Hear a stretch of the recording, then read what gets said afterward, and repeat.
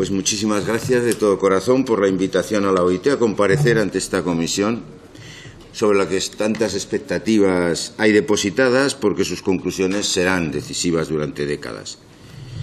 Estamos asistiendo a una situación insólita y a una crisis extraordinaria por su carácter global y porque la crisis sanitaria ha desencadenado simultáneamente una crisis económica y social y de empleo devastadora, cuya construcción, cuya reconstrucción requiere también de respuestas globales extraordinarias. Respecto a la crisis sanitaria, tras los primeros titubeos y retrasos motivados por la novedad del fenómeno y las incertidumbres sobre la velocidad y extensión del contagio, una vez declarada la pandemia por la OMS, los gobiernos de todo el mundo han ido reaccionando con medidas similares. El confinamiento ciudadano y la paralización correspondiente de la actividad económica y comercial, entre ellas, lo que ha tenido un impacto colosal sobre el empleo. Los datos de la OIT nos muestran que el 94% de los 3.300 millones de trabajadores que viven en el, que, que hay viven en países en los que se ha aplicado algún tipo de medida de cierre de los lugares de trabajo. 436 millones de empresas se han visto gravemente afectadas y nuestros informes nos alertan de que 305 millones de personas podían perder su empleo en todo el mundo, lo que se añadiría a los 200 millones de desempleados existentes. Estos niveles de desempleo configurarían una situación crítica y explosiva. Tomen nota, crítica y explosiva.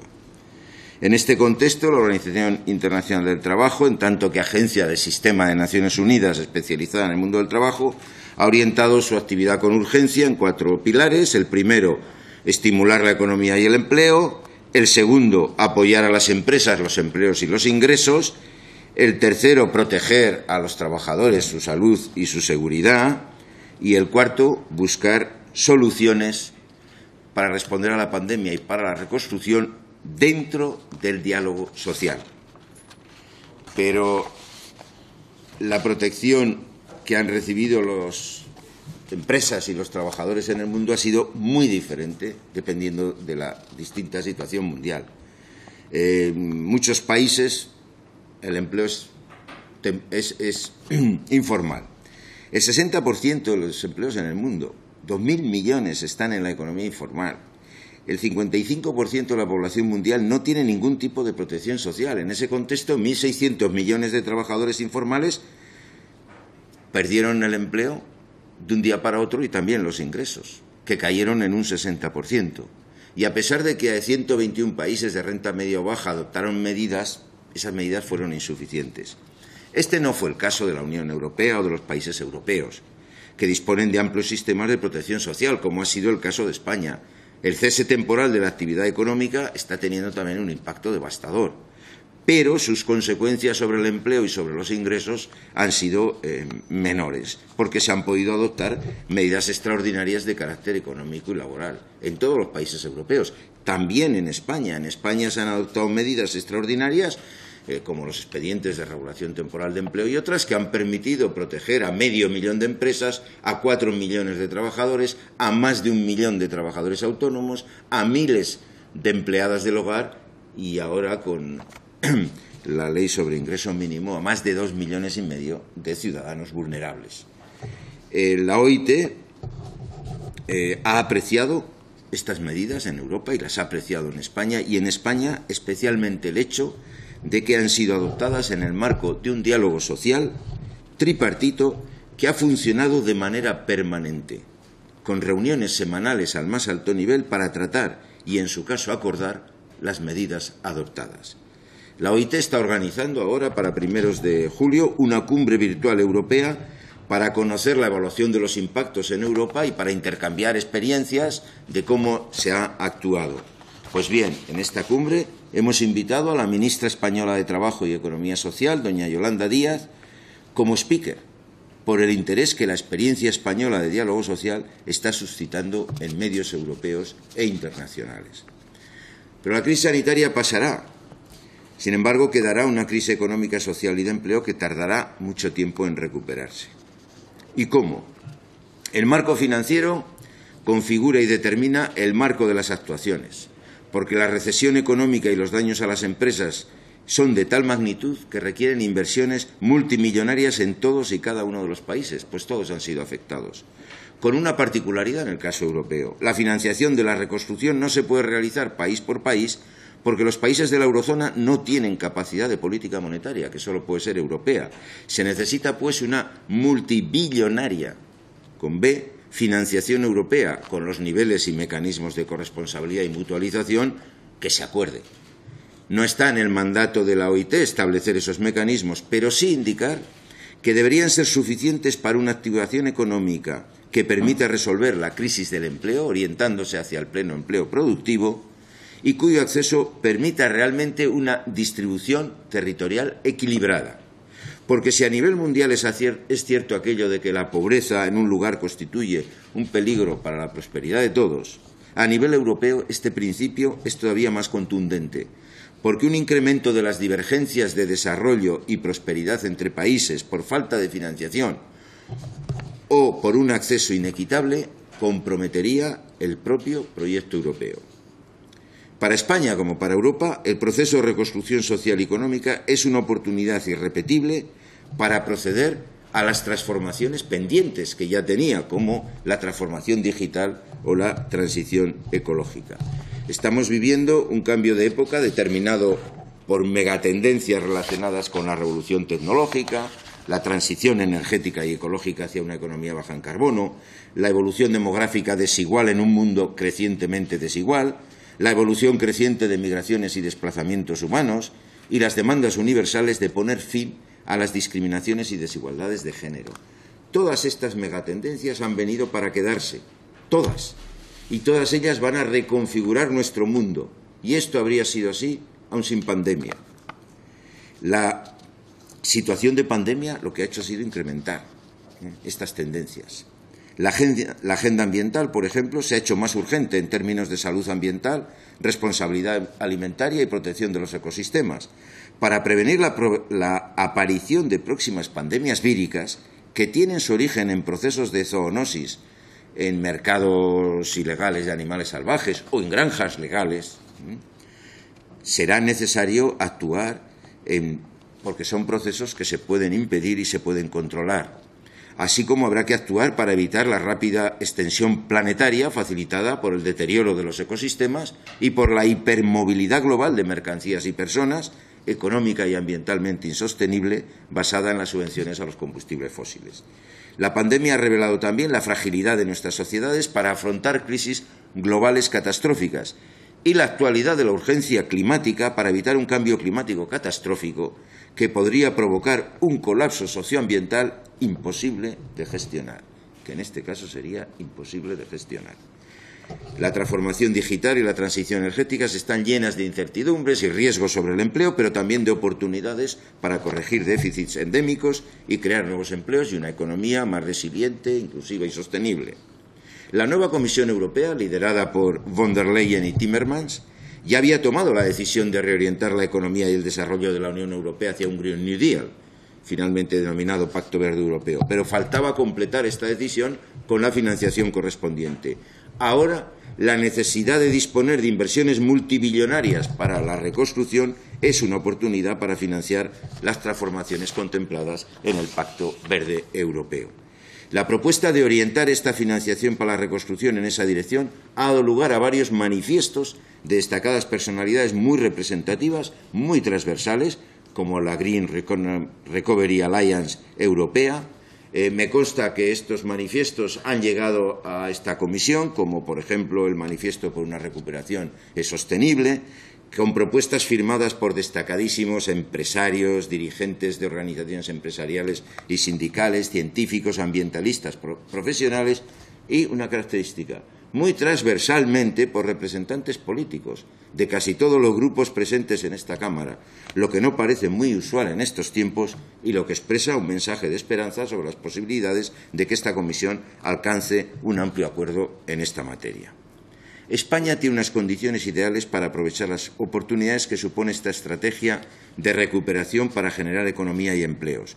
Un enorme potencial de energías renovables, un capital natural único, una industria bien posicionada, una apuesta decidida por la eficiencia energética. En la OIT hemos estudiado en detalle este asunto. A nivel mundial, los empleos que se podrán crear en un proceso de transición energética para cumplir la agenda climática son cuatro veces más de, los que se podrían perder por el abandono de los combustibles fósiles. En países como España, cuya energía depende de costosísimas importaciones, esta transición energética orientada hacia la generación de electricidad, el transporte, la movilidad, la edificación y el sector alimentario sería una extraordinaria fuente de empleos. Las actuales provisiones contempladas por el Plan Nacional Integrado de Energía y Clima, que contemplan la creación de doscientos y pico mil, doscientos treinta mil empleos, podría verse superada. Se podría crear incluso más de medio millón de empleos si las inversiones para la reconstrucción aceleran los procesos de transformación, incluidos en sectores tan estratégicos y sensibles para España como el sector de la automoción, que está atravesando peligrosas incertidumbres sobre su futuro. Entonces, la transición energética es efectivamente una oportunidad para España, incluso una oportunidad única para territorios que parecían haberse quedado atrás en su desarrollo industrial, pero a condición de que se haga en términos de transición justa. Es decir, fomentando al máximo las nuevas actividades y empleos a la vez que se atienden a las personas y territorios afectados. El Gobierno de España y la OIT tenemos un acuerdo en esta materia de aplicación de las directrices de transición justa en el proceso de transición energética, por un lado, y de trabajar internacionalmente conjuntamente en las negociaciones climáticas y otras negociaciones para extender el trabajo decente y la transición justa. Y, efectivamente, la firma de acuerdos tripartitos en los procesos de cierre de la minería y de las térmicas de carbón hechos por España han permitido dar protección social a los trabajadores afectados y emprender procesos de reactivación económica en los territorios concernidos que serán fuentes de nuevos empleos.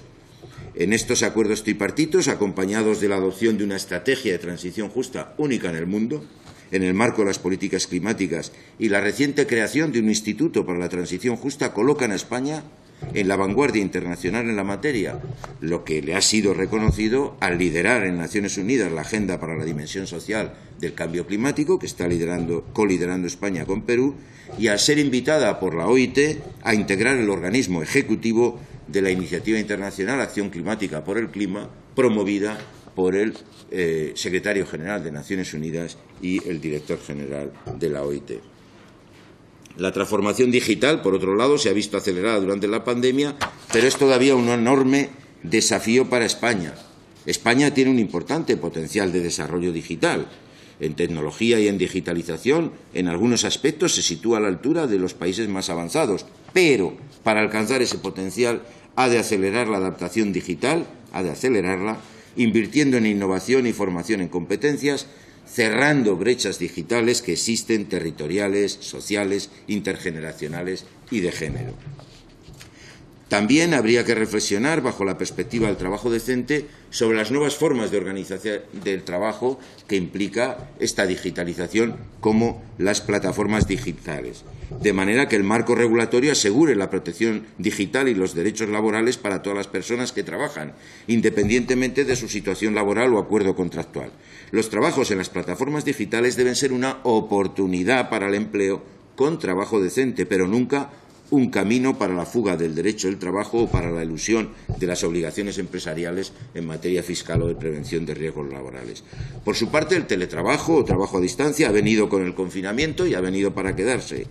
Pero en la nueva normalidad el teletrabajo no tendrá por qué ser un trabajo obligatorio, con medios precarios y atendiendo a la vez a la familia confinada, sino acordado entre empleadores y empleados, con equipos proporcionados por la empresa, con puestos de trabajo ergonómicos, con tiempos de trabajo acordados, con derecho a la desconexión digital. La ratificación del convenio 177 de la OIT sobre trabajo a distancia podría ser una buena herramienta para ello. Entre las lecciones que nos deja la pandemia, además de la salud, una muy importante es el valor del trabajo para las personas y para la sociedad, y en particular el valor de determinados trabajos esenciales. Las profesiones sanitarias y los trabajos de cuidados, quienes recolectan los productos alimentarios, quienes los transportan y distribuyen, las cajeras, las personas que garantizan nuestra seguridad. Todos ellos son trabajos de enorme valor que, sin embargo, no son ni de lejos los más reconocidos ni los que tienen los contratos más estables o están mejor remunerados, tal vez porque son realizados principalmente por mujeres o por migrantes. Muchos de los profesionales sanitarios que han arriesgado su salud y su vida llevan años encadenados a contratos temporales a tiempo parcial para trabajos estables en instituciones públicas, como los hospitales, en las que se trabaja 24 horas al día los 365 días al año. Los trabajos de cuidados, tanto los remunerados como los no remunerados, son realizados principalmente por mujeres y aportan a la sociedad una actividad tan valiosa que si hubiera que valorarla económicamente sería el equivalente al 15% del PIB. A lo largo de esta emergencia hemos podido también descubrir entre los equipos de respuesta a numerosas personas llegadas de otros países, que estaban en profesiones esenciales, que nos han ayudado a salvar vidas, como la actividad sanitaria o en la comercial o en la agrícola para las cosechas o en el cuidado de nuestros mayores. Todo esto ha sucedido en un proceso de desigualdades crecientes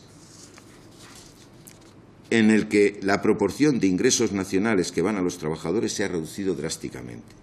En el caso de España, desde la última crisis, la proporción de los ingresos laborales ha disminuido de forma más acusada que la media mundial, pasando del 66% en 2009 al 61% en el año 17, lo que significa que cada año 64.500 millones de euros, que antes estaban en manos de los trabajadores como rentas del trabajo, han dejado de estarlo para pasar a otras manos. Eso explica el crecimiento de la pobreza en España, incluida la pobreza laboral, a pesar de que la riqueza es superior a la que había en 2008. Antes de la pandemia, la necesidad de la recuperación social era urgente y el margen para dicha recuperación era amplio. Ahora la recuperación social es todavía más urgente. Tras la pandemia, los esfuerzos de reconstrucción social y económica deberían ir encaminados a corregir esa situación y reforzar el pilar social. Se trata, en el caso español, se trataría de promover un proceso profundo de reformas que, por un lado, restauraran algunas situaciones y derechos que se han visto deteriorados, pero que, sobre todo, aspiraran a configurar un nuevo contrato social para la reconstrucción que permitiera afrontar los desafíos del futuro del trabajo. terminaré mi intervención enumerando algunas de estas. El informe Trabajar por un futuro del trabajo más prometedor y la declaración del centenario de la OIT ofrecen desde la perspectiva tripartita una amplia relación de propuestas inspiradoras en esa dirección. Nosotros proponemos invertir en las personas, acompañarlas en los procesos de transición que vienen. En primer lugar, con un derecho a un aprendizaje a lo largo de toda la vida. Esto representa una revolución en el sistema educativo es la gran reforma educativa que requiere España y que sería posible, esta sí, a través de un acuerdo social y político. También habrá que resolver el desempleo juvenil, entre otras medidas recuperando la garantía juvenil europea, pero de una manera más duradera y con mayor financiación que la última iniciativa adoptada por la Unión. A su vez, habrá que atender la situación de las personas mayores y habrá que aplicar un programa transformador y medible para la igualdad de género. El mundo del trabajo empieza en el hogar, desde las licencias por paternidad hasta la inversión en los servicios públicos de cuidados, las políticas han de promover que se comparta la prestación de cuidados no remunerados en el hogar para crear una auténtica igualdad de oportunidades en el lugar de trabajo. También asegurando que las empleadas del hogar dispongan de los mismos derechos que el resto de trabajadores. Le invitamos a España de nuevo a ratificar el convenio 189 de la OIT, el fortalecimiento de la voz de las mujeres y su liderazgo, la eliminación de la violencia y el acoso en el trabajo, ratificando el convenio 190 de la OIT y la aplicación de políticas de transparencia salarial son condiciones para la igualdad de géneros. Y habrá que incorporar el talento, el conocimiento y el poder de emprendimiento de las personas migrantes, refugiadas y solicitantes de protección internacional, que enriquecen y fortalecen nuestras sociedades, reconociendo su dignidad, respetando su potencial para la sociedad española. Si se logra garantizar que sus actitudes y su capacidad de trabajo no se pierdan, serán también una palanca para la reconstrucción. La reconstrucción o es inclusiva o no habrá reconstrucción. Su potencial y su resiliencia son activos de enorme importancia. Los organismos de Naciones Unidas con representación en España, ACNUR, la organización OIM y la OIT, conjuntamente hemos, llegado, hemos hecho llegar a esta comisión una serie de propuestas que formarían parte de este nuevo contrato social y que ruego se consideren con mucha atención e incorporen en sus conclusiones finales. Se trata de incorporarlos en el mercado de trabajo, entendiendo que no son solo personas para trabajar o para darnos un servicio, sino que también son personas ciudadanas que tienen derecho a un trato digno. Y nos preocupa la situación en la que viven en asentamientos inhumanos muchas de estas personas, situación que habría que resolver. Habrá que reforzar también los sistemas de protección social universal desde el nacimiento hasta la vejez, lo que para países como España, que ya tiene un sistema de protección, implica reformas que deberían ir a reforzar y no a debilitar los sistemas de protección social existentes, garantizando su futuro, asegurando su financiación y ampliándolos para garantizar una renta común para todos. También habrá que incrementar la inversión en las instituciones del trabajo, Hemos visto la importancia de las instituciones del trabajo a lo largo de esta pandemia. Estas instituciones, desde el derecho al trabajo, los contratos, los convenios colectivos, los sistemas de inspección, el diálogo social, son las piedras angulares de cualquier sociedad justa. Todos los trabajadores deberán disfrutar del derecho a la negociación colectiva. Todos los trabajadores tendrán que disfrutar de la seguridad y salud en el trabajo. No sé si ustedes saben, pero 2,7 millones de personas mueren cada año. 2,7 millones de personas cada año fallecen a causa de los accidentes y enfermedades del trabajo. Es cada año una pandemia con mucha más mortalidad que la COVID-19. Y es algo que se puede resolver y que, sin embargo, no se está resolviendo. Cada año se están incrementando.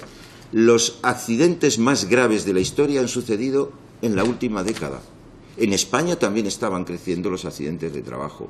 Es algo que esta comisión debe abordar con muchísima seriedad y con muchísima responsabilidad. Tendrá, que abordar también las cuestiones del tiempo de trabajo, por supuesto.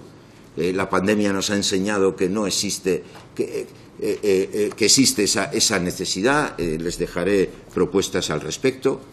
Y tendrá que colocar en su lugar, como se ha colocado en la pandemia, el diálogo social.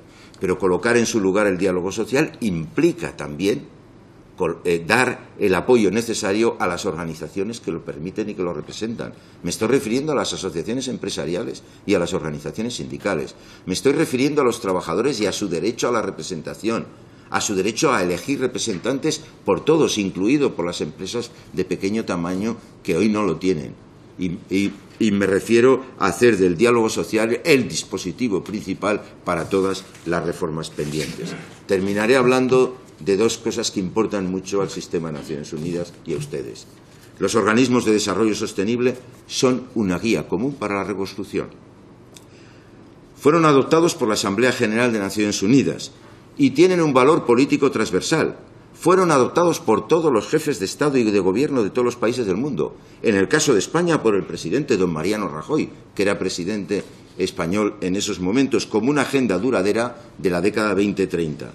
Por su valor universal, que, que les permite la convergencia entre países, no solo en el marco de la Unión Europea, y por su capacidad para responder, como ninguna otra agenda, a los desafíos de nuestro tiempo desvelados por la pandemia COVID-19. Igualmente, hay que reforzar la dimensión global y el multilateralismo y el rol de Naciones Unidas y la cooperación al desarrollo.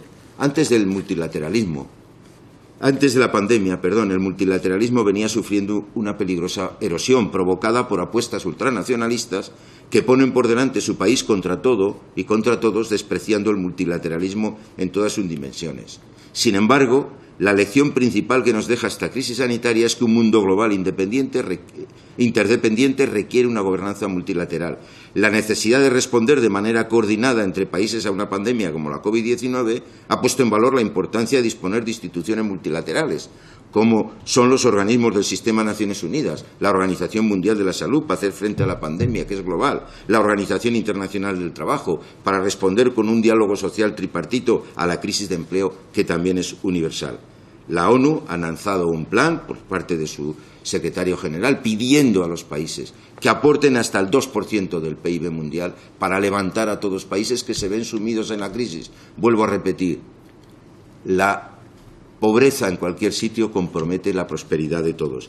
Dentro de la comunidad internacional, este es el último párrafo, España es considerada como uno de los países que más apuestan por el multilateralismo y contribuyen a su desarrollo. Es una línea beneficiosa para España y para el mundo, pero tiene una laguna. la brutal caída en un 80% de la financiación de la cooperación internacional española, que fue entendible tras la crisis de 2008, pero que no se entiende que permanezca una vez que la recuperación económica se ha desarrollado y que la riqueza en España es superior a 2008. La situación creada por la COVID-19 en todo el mundo demanda también de una cooperación española a la altura de sus posibilidades y de su reconocido compromiso. Muchas gracias.